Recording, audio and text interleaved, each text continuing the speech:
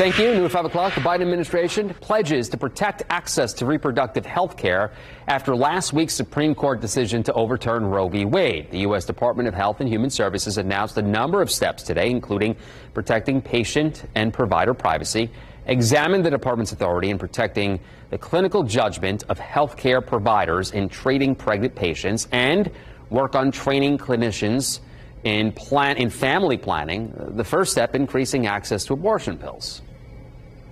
Federal law requires our programs to provide medication abortion in certain circumstances, such as the life of the woman, rape, or incest.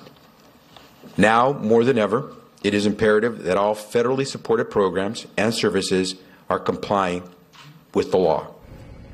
The Biden administration also launching reproductiverights.gov with information for the public. Since the Supreme Court overturned Roe versus Wade, one Indiana abortion clinic is now seeing an influx in demand for services. News 8's Camila Fernandez has more on their concerns for women in Indiana. Days after the Supreme Court's decision, the Women's Med Abortion Clinic in Indianapolis says the number of patients that come in has doubled.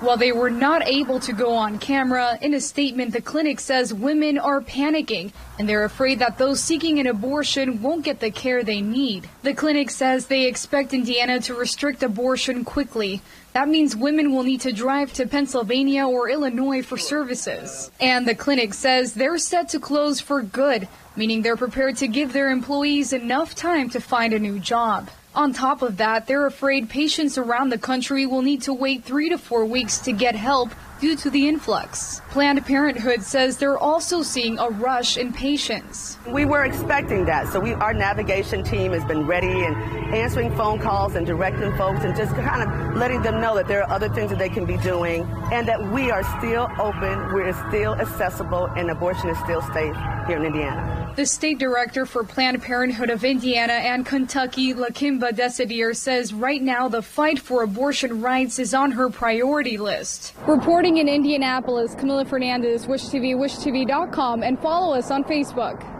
Camila, thank you. One of the nation's top pharmacy chains is removing limits on emergency contraception after the Supreme Court's ruling. CVS initially placed limits on Plan B, allowing customers only to buy up to three. That comes shortly after the company started limiting purchases of the morning after pill to three per customer. CVS implemented the limitation due to an increase in demand for the pills. The company says sales have now stabilized. Purchase limits are expected to be removed from all locations within 24 hours.